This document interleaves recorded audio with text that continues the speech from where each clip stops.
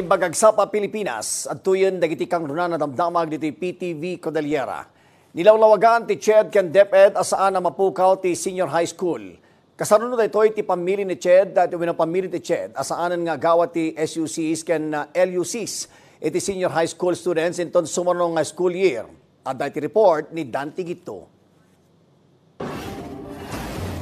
Iti datos ti Department of Education, lima gasut katwalo dagiti agdama a grade 11 senior high school student iti state universities and colleges ken higher education institutions iti entero a Cordillera. Isuda ti apektado iti bilin ti CHED kadagiti SUC ken LUC nga isardeng danti panangijaya iti senior high school iti sumaruno nga school year. Kasi wala ng legal basis at saka wala na silang makukuhang subsidy galing sa national government para sa mga estudyante ito. So dapat sila ay maging uh, universities and colleges offering higher education programs. Inton sumaruno nga school year, nasken nga agsapol dagiti grade 11 student iti pagakaranda a high school, pribado man wenno para publiko. Adamat ti voucher ti Department of Education ang maipaay kadagiti mapilitan nga agturong iti pribado a pagadalan no isulaeng ti mangijay-jaya iti strand da nga inalada iti SUC wenno LUC. Pamalawag ti Ched ken ti DepEd saan na mapukaw ti senior high school. Of course, senior high school will still be offered no in our basic education, both public and private. Um, what is uh, to be discontinued yung pag-offer ng CHED schools like uh, Benguet State University ng senior high school. Iti Cordillera, upat a probinsya laeng tadaan iti kolehiyo ang mga jaya ti senior high school. Dua iti Abra, maysa iti Apayaw, maysa iti Benguet, ken maysa iti Tabuk City, Kalinga. Nabilin matan dagiti Schools Division Superintendent ang makikoordinar kadagiti presidente iti nasao nga universidad tapno maamuan dati pangiturungan kadagiti estudyante ang maapektaran. As to whether uh, it will be a problem in car, uh, my answer was it is not because we have available private and public schools where they can be accommodated. Dante Gitu. Para iti pagilyan. Iti daduma pa damag kailyan, nasurok 100 million pesos sa pondo dagiti DPWH sa funded projects. Iti Baguio City iti may subli, iti National Treasury. Kapo ka iti naduktalan ang panaglabsing iti implementasyon ng iti proyekto ti Department of Public Works and Highways.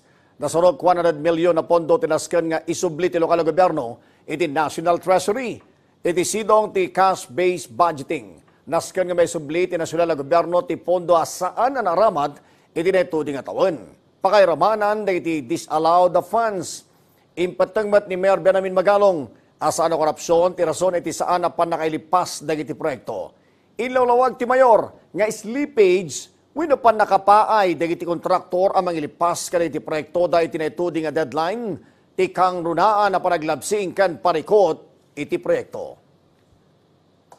Normal yun eh. Maski hindi naman nila sasabihin sa amin yun. Isosoli talaga namin yun because that is toward the end.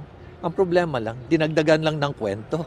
Kung ano nung ginawa ng kwento. Pero anyway, dalawa lang masasabi ko, may nagsisinungaling. Pero siguradong hindi kami nagsisinungaling. Kaya naming tumingin sa mata ng tao at sa harapan ng Diyos, harapan ng simbahan, na wala po kami kinukurako dyan sa pera na yan. Makakasigurado po kayo dyan. Dito talagang good governance. Kabayatan na naprobaranan ti may katlo a panagbasa. Jay kamanat ti duwaga katalintag ni Representative Mark Go para iti panakaibangon ti duwa nga independent ken specialized high schools iti siyudad ti Baguio. Panigagay ti House Bill 7316 abay bangon ti Baguio City High School for the Arts bata tanigagay mo ti House Bill 8700 amay bangon ti Baguio City Sports High School. It is specialized high school para ti sports may giant sports of focus education amang pasayaan iti athletic skills dagiti estudyante.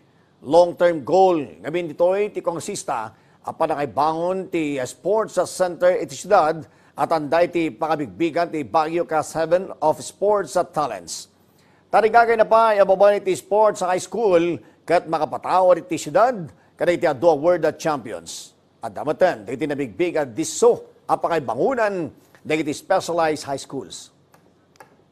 We've seen a lot of uh, potentials of our youth here in uh, Baguio City. Uh, and at the same time, uh, we want to ensure that we hone the skills and competencies of these uh, students. And the way to do it is to put up a specialized uh, high Bueno, dagita dagiti kang nuna na damdamag diti PTV Cordillera. I-like, i-follow, can ag-subscribe. Iti social media platforms ti PTV Cordillera, ti Facebook, TikTok, and YouTube. Para ti PTV Balita ngayon sa probinsya, siya ni Eddie Carta, naimbag ngaldaw.